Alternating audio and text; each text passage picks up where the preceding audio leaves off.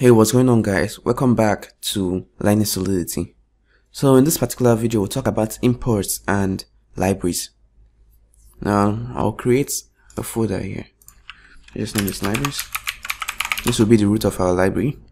And in this folder, I'll create two files. One will be our library and one will be our contract or make use of this library. Okay. Let's call the library library. Oh, math library. And um, the contract let's just call the contract main contract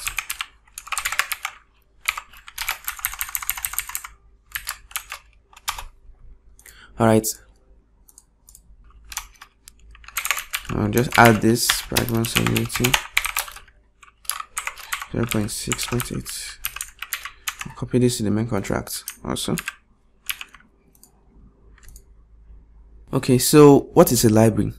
A library in Solidity is a different type of smart contract. It contains reusable code, and um, once it's deployed to the blockchain, all other contracts can make use of this library. How do we create this library? We've created two files, one our contract that makes use of the library and one the library. But then how do we define a library?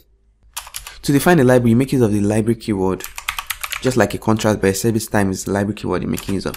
And then this library will have a name. We'll call this math.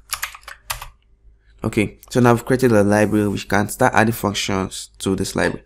So add a function since a math library or add an additional fun function and this should be a and b that's two numbers and we'll make it internal. It should return a just return a plus b. We'll create a subtraction function also. Basically the same. I'll name the sub. But instead it should return the opposite. So we've created our library. And now next thing is to make use of this library. To make use of this library we'll go to our main contract. And this library is not in the same file as our main contract so we can't just simply call this library which is where import comes in Import is a Solidity keyword used to import files. You can also import files from GitHub. So to import um, our library, we have to make use of the import keyword. And then use um, double quotes.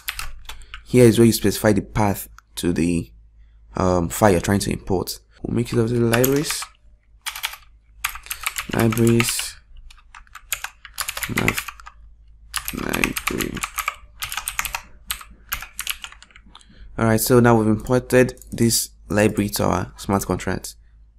Now what we have to do is create our contract. Create a contract. We call this main contract. We will test our library, the functions of our library. So let's call this. Now adjust it. We'll make this public. We should return also a uint create some variables here, some local variable. A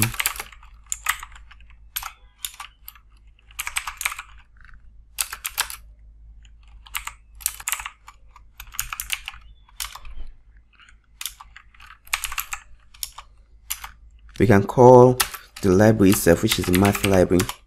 And then using the dot notation we can call a particular function. We call the add function and then we can pass in a and b. Okay what's happening? Our library is named math not math library. So just like this. Or i should just name it math library.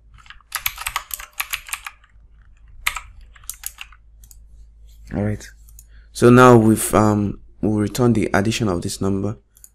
Let's try deploying and let's also create another function for our subtraction uh, what is the difference? And it should be sub as you can see we have the math library and contract. We are deploying the contract.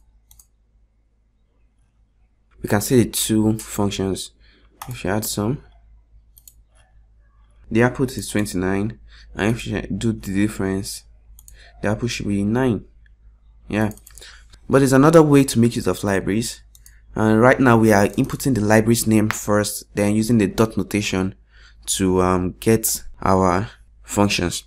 Using then the library you want to make use of. I'm using math, math library. I'm using it for uint.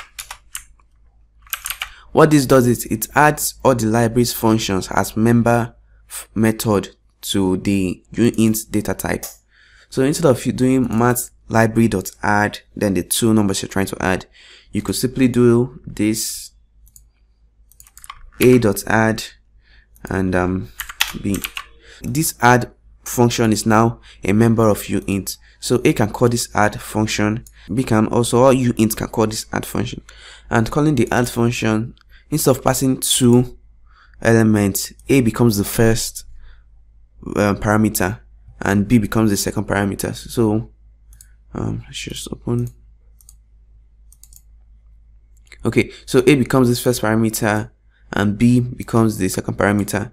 A is now the one calling the add attribute so by default a becomes the first value here and we just have to pass in the other value which is b. So that's a, another way of using libraries. What happens if our code is let's say uint 8 the code also breaks because we said it's for just uint uh, to fix this we can make we can make this library to be for all data type.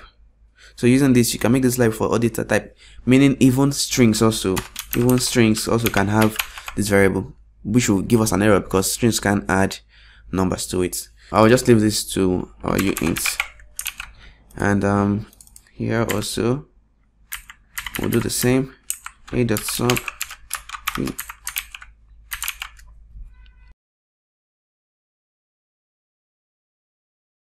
and we'll sum this. You see we still get desired results. And also if we find the difference we still get the correct results. So that's it on my video on imports and libraries. So thumbs up this video if you did like it and thumbs down if you didn't. If you have any questions leave in the comment section below. And also feel free to comment below improvement you'd love to see on this channel. Thank you all for watching. I'll see you in another youtube video